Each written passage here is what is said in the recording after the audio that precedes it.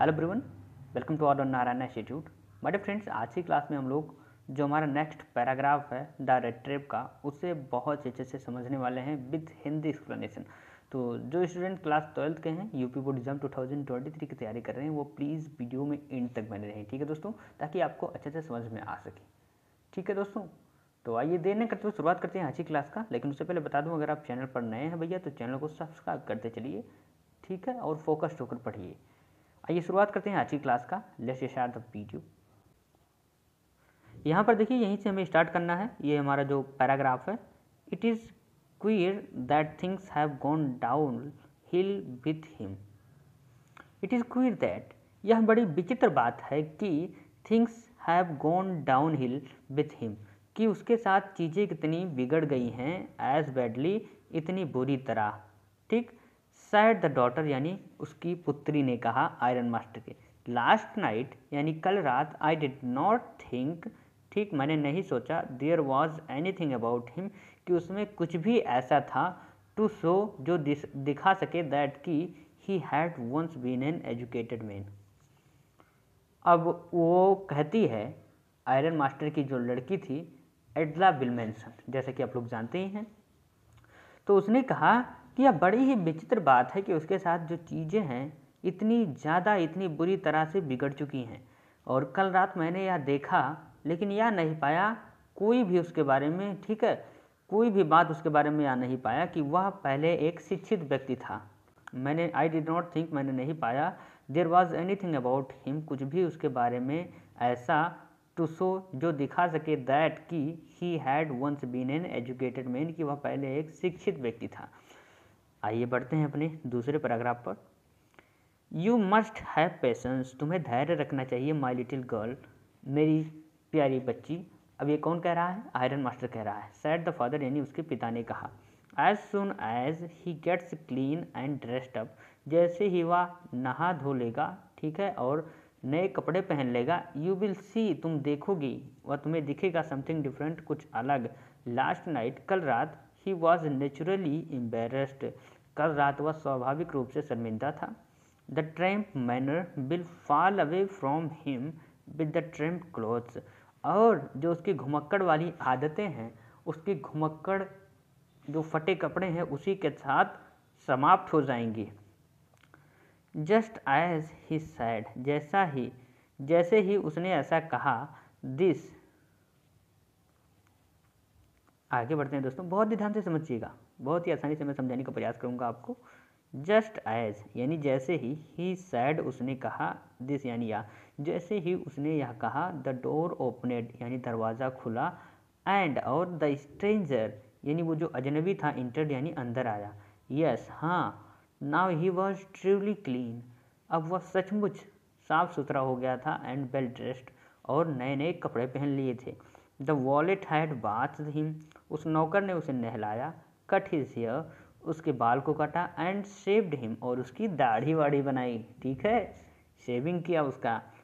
Moreover he was dressed in a good looking suit of clothes belonged to the ironmaster moreover यानी इसके अलावा he was dressed in a good looking suit of clothes उसने यानी इसके अलावा उसने एक अच्छा दिखने वाला सूट पहन रखा था विच बिलोंग जो था टू द आयरन मास्टर जो आयरन मास्टर का था।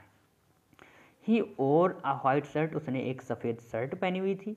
आ स्टार्च कॉलर ठीक, एक खड़ी कॉलर वाली जो थी एंड होल शूज़ ठीक है? और साबुत जूते पहन रखे थे।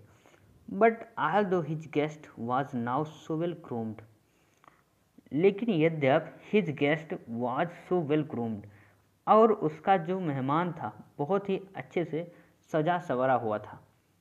The iron master did not seem pleased जो आयरन मास्टर थे, लोह व्यापारी थे, वो प्रसन्न नहीं दिख रहे थे।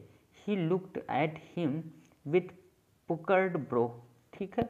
वह उसे बहुत ही गुस्से से देख रहे थे एंड और समझते हैं इट वॉज़ ईजी यानी यह आसान था टू अंडरस्टैंड यानी समझना दैट की। अब यह समझना आसान था कि when he had seen the stranger fellow कि जब उसने उस स्ट्रेंजर फेलो यानी उस अजनबी व्यक्ति को देखा in the uncertain reflection from the furnace यानी फर्नेस की अनिश्चित प्रकाश में he might have made a mistake उसने एक गलती कर दी।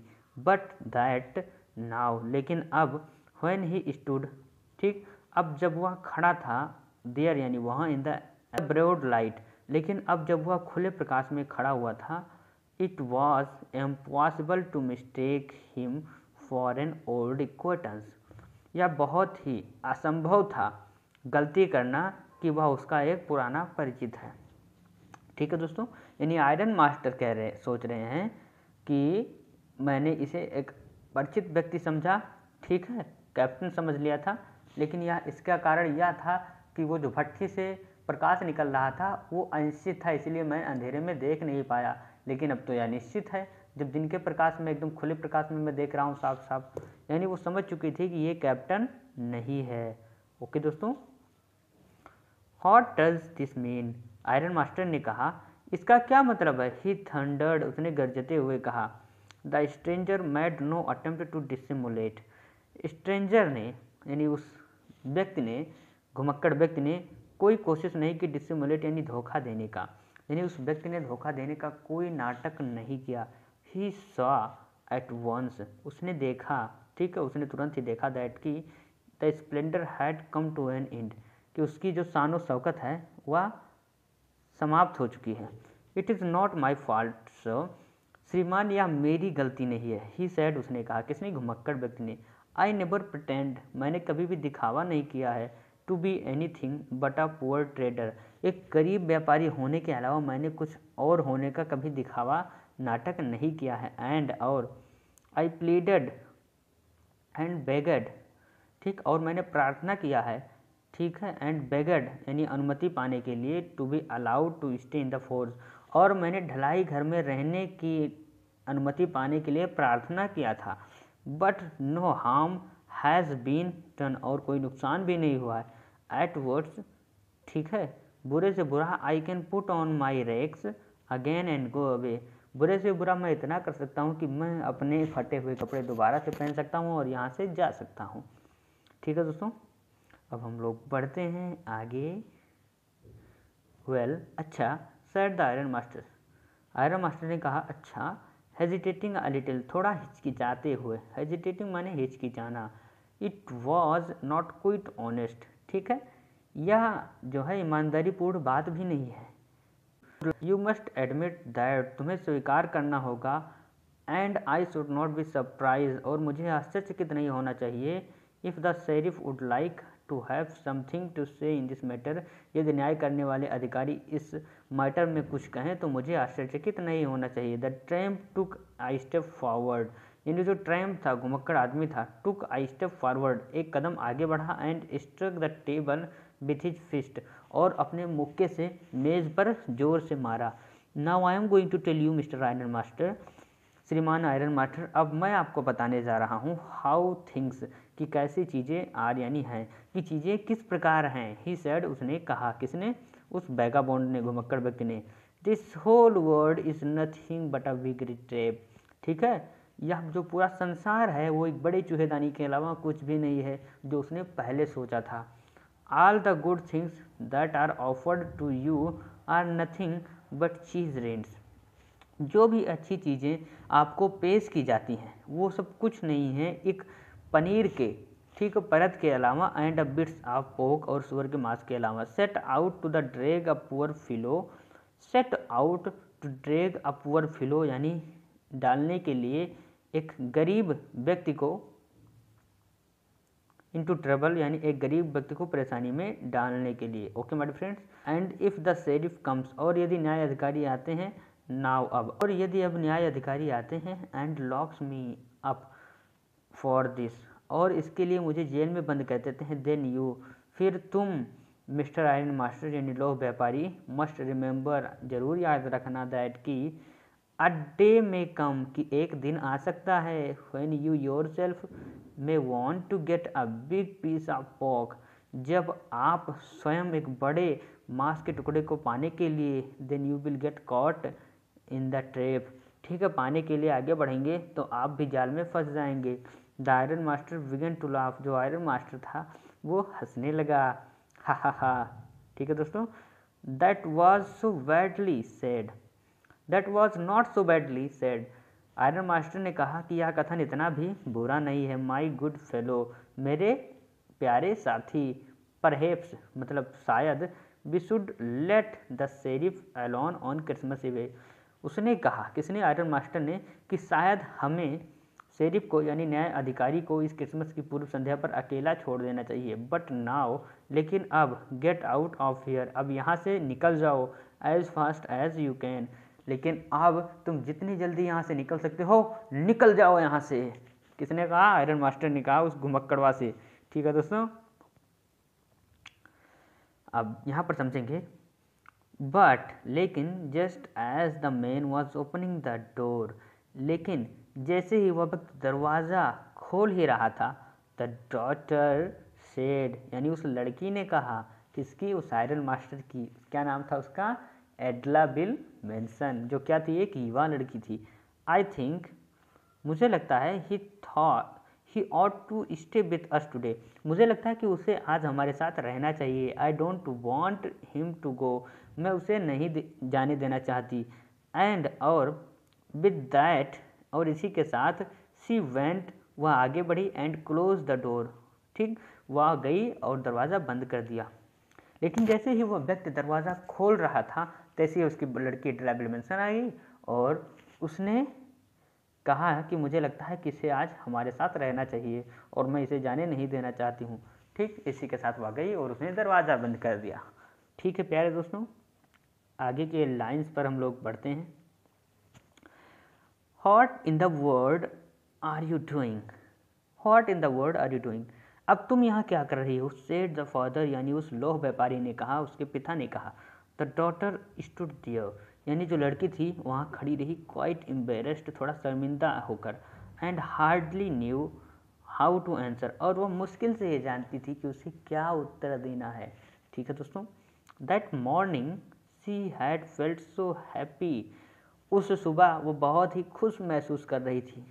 वैन जब she thought how homelike and Christmassy she was going to make things for the poor hungry wretch she thought वह सोचती थी how homelike and Christmassy कि कैसे घर की तरह और Christmassy she was going to make things for the poor hungry wretch कैसे उस अभागे व्यक्ति के लिए, गरीब व्यक्ति के लिए घर की तरह और क्रिसमसी ठीक है चीज़ें उस गरीब व्यक्ति के लिए, भूखे व्यक्ति के लिए बना रही हैं, ठीक है?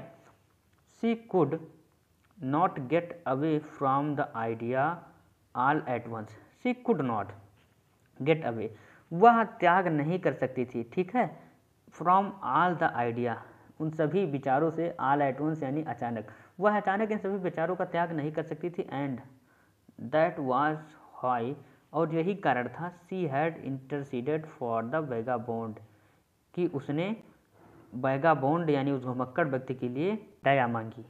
आई एम थिंकिंग मैं सोच रही हूँ ऑफ़ दिस स्ट्रेंजर हियर मैं यहाँ इस व्यक्ति के बारे में, अपरिचित व्यक्ति के बारे में सोच रही हूँ।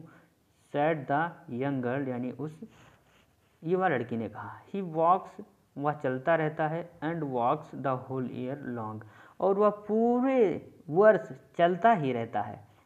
एंड और there is probably not a single place और शायद ही कोई स्थान नहीं होता इन द होल कंट्री पूरे देश में वेयर ही इज़ वेलकम जहाँ उसका स्वागत किया जाता हो। तो उस एडला बिलमसन ने कहा कि मैं इस अजनबी व्यक्ति के बारे में सोच रही हूँ कि जो पूरा वर्ष चलता ही रहता है, पूरा वर्ष चलता ही रहता है, ठीक है? और इसे शायद कोई स्थान नहीं मिलता है जहाँ इसको जहाँ इसको घर की तरह व्यवहार किया जाए, ठीक है? अब हम बढ़ते हैं आगे। वेर एवर ही टर्न्स जहाँ कहीं भी वह जाता है ही इज़ चेस्ड अवे ठीक है? वह वहाँ से भगा दिया जाता है। ऑलवेज ही इज़ अफ्रेड वह हमेशा डरा रहता है ऑफ़ बींग अरेस्टेड यानी गिरफ़्तार होने का, ठीक है? डरा रहता है एंड क्रॉस्ड एग्जामिन और प्रश्न पूछने का। तो उसके अंदर हमेशा एक डर बना रहता है कि वह गिरफ़्तार हो जाएगा, उससे प्रश्न पूछे जाएँगे। I should like to have him enjoy ठीक? मैं पसंद करती हूँ उसे इंजॉय करने देना, ठीक है? अ डे एक दिन ऑफ़ पीस मैं चाहती हूँ कि उसे एक दिन इंजॉय करने दिया जाए, शांति से विद अस हमारे साथ यहाँ. Just one in the whole year पूरे वर्ष में केवल एक दिन. तो डे फ्रेंड्स इसी पैराग्राफ के साथ हम समाप्त करते हैं आज की क्लास का. अब नेक्स्ट क्लास में हम यहाँ से पढ़ेंगे द आयरन मास्टर ममलेट ठीक है दोस्तों तो उम्मीद करता हूँ आज की क्लास बहुत ही अच्छी लगी होगी। कोई भी डाउट कोई भी कन्फ्यूज़न नहीं बचा होगा आप सभी प्यारे प्यारे छात्रों को, ठीक है? और प्यारे दोस्तों, अगर आप नए जुड़े हैं तो चैनल को सब्सक्राइब करते चलिए ताकि आपको पर डे यहाँ पर क्लासेस मिल सके। तो दोस्तों, अगर आपको पाँच बजे क्लासेस मिल रही हैं, अगर कोई भी इससे आपको अनफेसिलिटी महसूस होती हो तो आप कमेंट कर सकते हैं कि क्लासेस की टाइम क्या रखा जाए, ठीक है दोस्तों? तो हम मिलेंगे कल शाम बहुत ही अच्छे से, इसी समय एक नए पैराग्राफ के साथ, ठीक है? और कल की ही पैराग्राफ यानी कल की ही वीडियो में हम इस चैप्टर को चैप्टर को हम कंप्लीट करने वाले हैं। तो बहुत अच्छे से अपनी रिविजन्स करते रहें। और अगर कोई डाउट, कन्फ्यूज़न हो तो आप कमेंट कर सकते हैं। तो मिलते हैं कल शाम पाँच बजे। See tomorrow good night to all of you my friends